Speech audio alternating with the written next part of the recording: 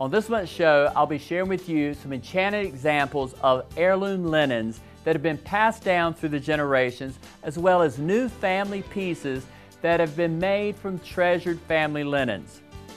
Award-winning needlework from the 1870s, early American stitch samplers, beautiful christening gowns, and a quilt that embodies our early American forefathers are just a few of the wonderful heirlooms I have the privilege of sharing with you.